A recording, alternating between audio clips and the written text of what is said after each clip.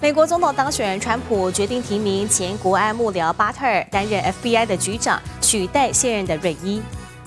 Our breaking news tonight President elect Donald Trump announcing he intends to nominate Cash Patel to head up the FBI. 川普的最新任命，他将提名前国安官员律师巴特尔出任 FBI 局长，取代仍有三年任期的现任局长瑞伊。巴特尔曾经多次呼吁剥夺 FBI 的情搜角色，并且指控拜登政府拿 FBI 当成打击政敌的工具。We also have a victim. That victim is Donald J. Trump. 川普的关税大棒横扫，逼得加拿大总理杜鲁道必须到佛州海湖庄园跟他共进感恩节晚餐进行会谈。尽管会后他说会谈非常棒，却也语重心长。Donald Trump.